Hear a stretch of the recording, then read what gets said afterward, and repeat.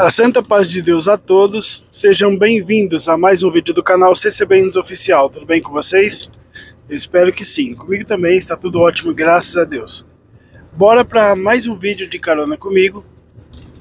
Aqui no canal CCBNs Oficial eu compartilho hinos de louvores e súplicas a Deus, binário 5 da Congregação Cristã no Brasil, mensagens diárias e reflexões. Nesse quadro de carona comigo, você sempre é meu passageiro preferido. Então aperte os cintos e boa viagem. Eu recebi um comentário em um dos vídeos hoje. É, a pessoa escreveu ontem, na verdade, né? Que era para mim falar sobre visitas, que tá faltando visitas entre a Irmandade, que ultimamente o pessoal fica mais no celular, não se conversa muito. Ou porque se saúda é, pelo, pelo WhatsApp, é como já tivesse visto pessoalmente, tivesse visitado já, né? Onde isso é completamente diferente, não tem nada a ver, né?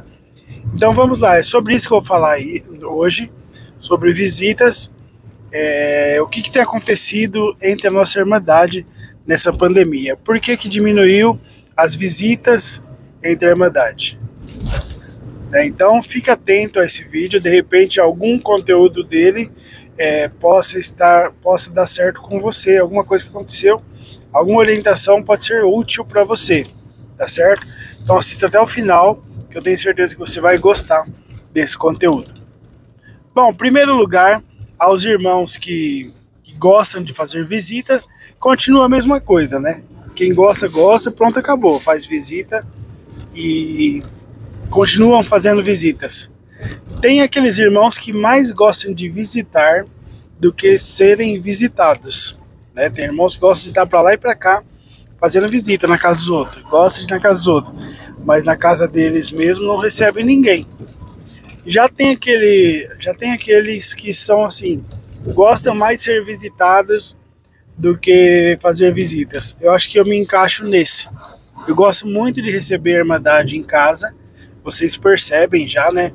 É, pelo, pelo meu canal e canal da esposa também. Né? Então eu sou mais de receber do que fazer visitas. Por conta do tempo meu que é muito puxado, é bem corrido. Né? Eu tenho bastante afazeres na chácara. Né? Trabalho em dois horários, folgo a cada 15 dias. Então para mim é bastante puxado. E às vezes eu não dou conta de fazer meus próprios, minhas próprias obrigações. Né? Tem que dividir em etapas. Né? Mas vamos lá, o que tem esfriado? O que tem acontecido entre a? Por que que está sentindo, estão sentindo essa falta de visitas? Né? Primeiro, um, uma vez eu fiz um vídeo falando sobre visitas e o vídeo assim ele deu uma repercussão muito grande que eu assustei pelo número de visualizações. Eu tive que excluir o vídeo do canal porque deu bastante debate, bastante discussões nos comentários. E então eu vou dar uma retificada nesse próprio vídeo que eu fiz e vou colocar nos dias atuais. Eu fiz o vídeo, né, quando começou praticamente a pandemia, em que a Irmandade ficou tudo assustada, né? As congregações fechadas, ficou todo mundo perdido. E agora, como fosse o fim, né? Mas graças a Deus tudo se resolveu. E então o que, que acontece, meus irmãos? É, as visitas, quem, de quem que é a obrigação de fazer visitas entre o povo de Deus? De quem que é a obrigação? A maioria da Irmandade vai culpar o ministério. Né? Ah, o ministério não está fazendo visita, faz tempo que não vem um cooperador na minha casa, um cooperador de jovens, enfim, obra da piedade, assim por diante. A Irmandade culpa culpa o ministério, o ministério não está visitando. Quando a realidade para as visitas não é uma não é uma exclusividade do ministério fazer visitas.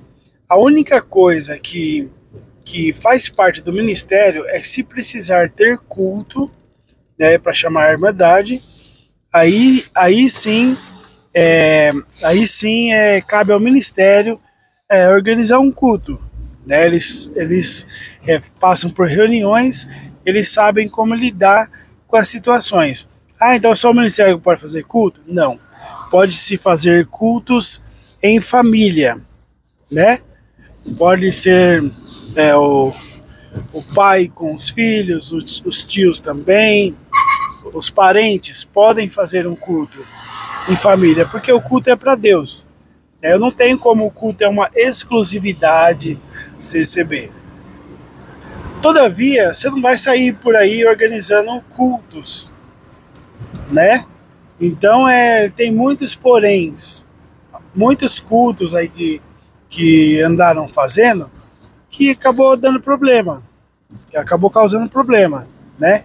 Então por isso os irmãos do ministério eles passam por reuniões e eles têm os procedimentos corretos para que não haja é, não haja não dê nada errado, não haja nenhuma confusão. Eles sabem organizar um culto, né? Então, meus irmãos, é, para fazer visitas, uma visita pode ser todos da Irmandade, né? Pode ser músicos visitar músicos, né? organistas visitar organistas, as famílias se visitarem. Então essas visitas, as mocidades se visitarem, né? Encontros de mocidades, é, tocando os hinos, cantando é, os louvores, tocando seus instrumentos. Então, isso aí é uma coisa que pode ser feita, pode, pode dar continuidade a qualquer hora do dia, qualquer semana. Todos podem fazer visitas. Ah, mas tem alguém enfermo na família? Todos podemos fazer orações, né? Ou vocês acham que Deus só ouve as orações se for de alguém do ministério. Né? Negativo. Deus ouve as orações de todos que o buscam. É claro que atender oração é segundo o querer de Deus. Né? O operar de Deus é segundo a sua vontade, não a nossa. É, quando nós pedimos algo a Deus, nós devemos é, ter paciência e fé acreditar que Ele pode atender o nosso pedido. Às vezes não, não nos dá o que nós necessitamos naquele momento, né? Mas Ele tem alguma coisa melhor para nós. Né? Isso que é o que é o gostoso de servir a Deus. A gente ter certeza que que Deus tem o melhor para nós. Ele sabe o que nós precisamos, melhor mesmo do que nós pensamos. Entenderam, meus irmãos? Então, é, visita todos podem fazer. É, ninguém pode reclamar, nossa, ninguém vai na minha casa. É, às, vezes, às vezes tem gente que, que não é visitado porque ninguém sabe, é, ninguém sabe o que se passa com ele, porque ele sempre é uma pessoa fria, uma pessoa que não é muito comunicativa. Né? Então não tem gente que realmente não dá para você saber, a não ser que você for na casa mas é difícil você fazer visitas com pessoas que não são muito de interagir, não são muito de conversar, a pessoa não é muito de papo, né? É, não participa muito de reuniões, né, de cultos, de eventos espirituais, né? Então é difícil você você saber se a pessoa gosta mesmo ou não. Mas também tem muitos que a gente fica até sabendo por aí que são assim: quando vai alguém na casa dele, ele recebe simplesmente no portão. Né? De repente, você que está assistindo esse vídeo pode ser um exemplo, não sei, não estou te julgando, estou te condenando. Né? É, recebe no portão, não põe para dentro de casa. Com aquele medo de colocar alguém dentro de casa e dar problema, com esse medo você não tem discernimento de espíritos para saber quem está batendo a sua porta, aí você acaba não recebendo ninguém. De repente é um anjo mandado por Deus, aí você tocou o anjo da sua casa. Eu já, eu já vi muitos casos que aconteceu assim, né, de irmãos que foram fazer visitas e foram tocados de casa. Então é uma situação difícil, uma situação é muito delicada em que a Irmandade tem que rever esses conceitos antes de falar, antes de reclamar que não, não estão tendo visitas, não estão sendo visitados. Né? Eu acho difícil, difícil você ir na casa de alguém e depois esse alguém não querer pagar a visita para você. Eu acho muito difícil isso, né? E como eu disse, né, tem vários tipos de irmandade. Tem aqueles que gostam só de visitar, não gostam de receber ninguém na casa dele. Mas as visitas têm que ser é, visitas têm que ser guiadas por Deus. Né? Não você fazer visita para alguém no horário do café da manhã ou no horário do, do almoço, a não ser que você for levar alguma coisa, um alimento para a pessoa. Né? Mas você ir de mão abanando na hora do almoço, na hora da janta, está na cara que você vai lá para serrar uma boia. Não é legal. Às vezes você vai pegar uma família desprevenida, desprovida das coisas, não tem né, o alimento suficiente. Daí você chega numa hora dessa, a pessoa vai ter o prazer que você coma com eles, né? Onde come dois, come três. Mas você põe às vezes a pessoa em situações difíceis, né? Então, é, visitas espirituais tem que ser feita com a guia de Deus, né? Com a guia de Deus. Não pensar também em números, né? Levar um monte de gente na casa de alguém é, ao, ao menos que alguém convide, né? Que nem eu tô para fazer uma tocata em casa, eu faço questão que toda a Irmandade participe, né? Aí é diferente. Vou me programar para isso. Agora, do nada, se chegar em casa 20 pessoas, a gente não tem alimento necessário, é suficiente para atender as 20 irmandades que aparecer, né? Então, é, vamos é, ficar atento a quanto isso, quanto a isso, né? Visitas não é exclusividade só do ministério, é da Irmandade também se visitarem. Né? Tem muitos que não visitam nem, nem a mãe, nem o pai, nem os parentes. Né? Então, é, antes de reclamar, vamos ver nossos conceitos. Qual foi a última visita que você fez para algum irmão? Qual foi a sua última visita? Provavelmente a maioria vão falar que são alguém é, da família, algum parente, né? Mas para a Irmandade mesmo, é, são poucos, são poucos que têm feito visitas. Né? Então vamos rever esses conceitos, meus irmãos. Né? Se você fez uma saudação no WhatsApp, não quer dizer que você visitou. Se você conversa com alguém pelo WhatsApp, não quer dizer que você visitou. Pior é se você nem isso faz, né? mas para fazer visitas mesmo é só presencial. Né? Você gosta de fazer visitas? Peça guia de Deus para a família que você for visitar, se está precisando de um alimento, uma roupa, né? se tem crianças, né? For fazer visita para famílias que têm crianças, leve de repente um brinquedo, uma roupa, uma, uma um alimento, né? um doce coisas que criança gosta. Faz isso, eu tenho certeza que Deus vai se agradar muito desse seu comportamento.